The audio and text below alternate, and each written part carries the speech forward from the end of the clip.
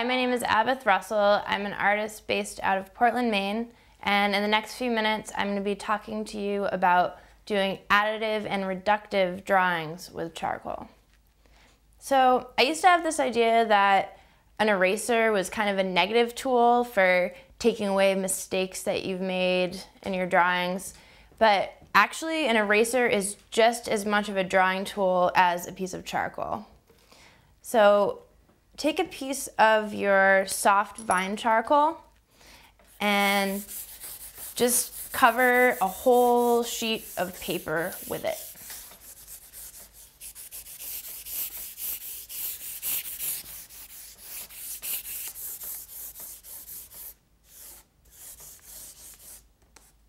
Make sure when you're doing this that you're turning the piece of charcoal on its side, otherwise it's gonna take a really long time.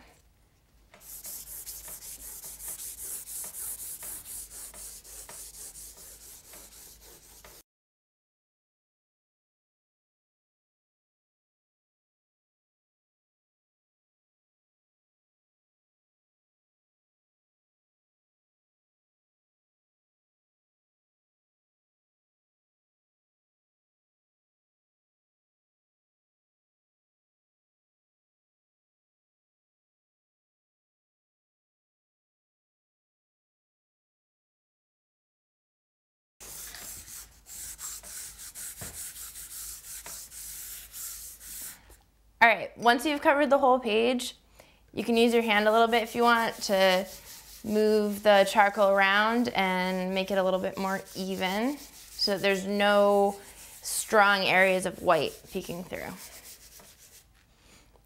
Okay, now you can take your gummy eraser and just play around with drawing into the charcoal by actually taking away the charcoal with your eraser. You can mold your gummy eraser into any shaped tool that you want it to be. You can give it a point, like a pencil, or you can make it broad and flat and use it like a paintbrush. So right now you're not worrying about drawing anything representational or specific or having some idea behind what you're drawing. This drawing is not to show to anyone, it's just for you to experiment with these tools. This is more like a chemistry lab than a work of art. So once you've played around a bit with your gummy eraser, you can try out using your um, rubber eraser and notice that that can remove more of the charcoal and make brighter whites on the page.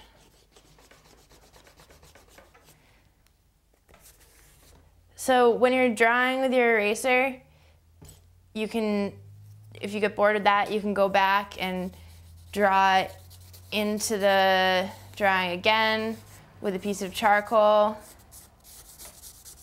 and really just work back and forth between the darkness of the charcoal and the lightness that the eraser creates. It's almost like you have two paint colors that you're just pushing and pulling back and forth on the page.